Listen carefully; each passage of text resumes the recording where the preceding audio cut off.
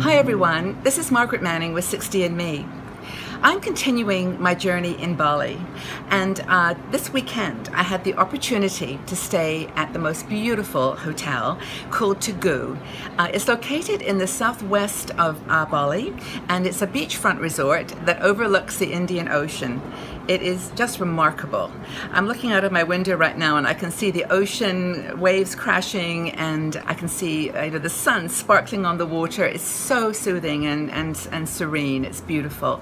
Um, Tugu is really a luxury hotel in every sense of the word. Um, it um, has an amazing location, of course. The staff are beautiful. They're so kind and, um, and generous and um, you know, want you to be happy and it's really a lovely atmosphere.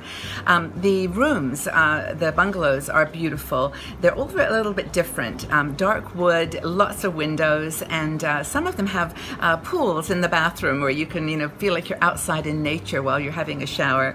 And um, there's a there, she has a beautiful massage um, facility too, where you can sit, you can actually have the massage outside with the ocean breeze uh, blowing on your on your body. Um, there are some other lovely features. Um, for example, the the grounds, tropical flowers flowers everywhere, just beautiful, and winding paths that just seem to take you into you know magic worlds. Lots of doors, which I love, and um, and just interesting um, artistic features.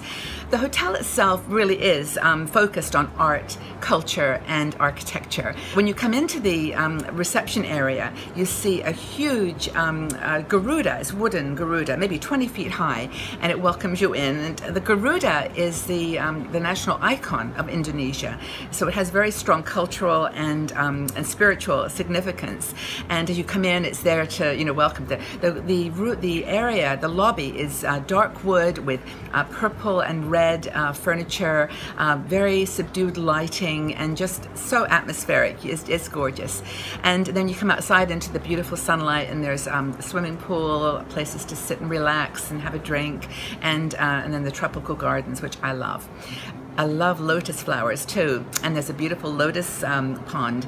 Uh, in the morning, when the sun is out, uh, the pinks and blue and um, whites come out, and it's just really, really gorgeous. And there's a little fountain that gives even more atmosphere to the to the lotus pool. Just gorgeous. And so, in addition to all these things, um, there, you know, it's just the experience is total, which made me think about what luxury really is. I mean, of course, it's all the things I've mentioned in terms of quality and refinement and, and, and just choice and um, serenity. But it's also, to me, something else.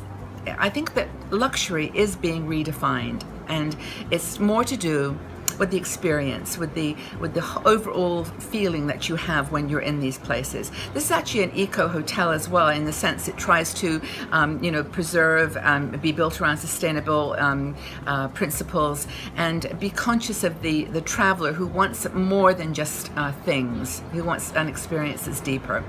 And um, so I think that that's that's a really important feature uh, to mention. And and for me, it got down to nourishment it was how travel nourishes you and how a place like this um, you know can, can contribute to that. So first of all uh, how, do, how does travel nourish me? Um, first of all I think it's with the with the with nature. It's beautiful here and you cannot escape the fact that it, it's there to surround you with its beauty and to energize you and and kind of bring together mind body and and spirit. It's a total um, you know experience the second thing that, that nourishes me when I travel, and, and here particularly, has been culture and art and history. You know, it's not always something that a lot of hotels incorporate into the experience, but here uh, in the in the lobby and all throughout the, the property, you'll see art, artifacts and uh, art, beautiful paintings of um, uh, dancers, and, and uh, there's music, and they have cultural e evening here where you can learn about Bali from that perspective. And so I think that culture and art really do nourish you at a deeper level as well. So that, that was important for me. And uh, the next thing is uh, cooking and, and, the, and, nourishment through through food. Um, I took the opportunity to do a cooking class here, and all the women were fantastic. And we are outside in an open kitchen and uh, learning all about how to make um, satay, shredded chicken, and oh, this cake uh, made out of purple potatoes and it was a purple cake. It, the, I mean, this, the color alone was just spectacular, but um, it was a cake that you could make with sweet potato or even beetroot. It's really cool. And so we made this uh, this dinner, and of course our lunch. Of course, I got to eat it, which was wonderful. And oh yeah, also I learned uh, how to make jamu.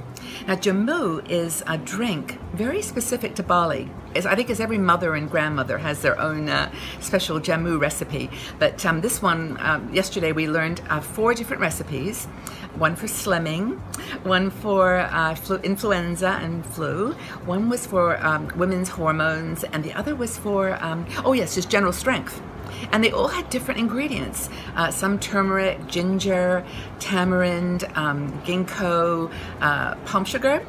Lots of different cool ingredients. I got to taste them all. It was wonderful. and uh, so Jamu and cooking nourished me obviously the food was wonderful, but also just the way it was prepared and learning about the ingredients and the plants that were involved.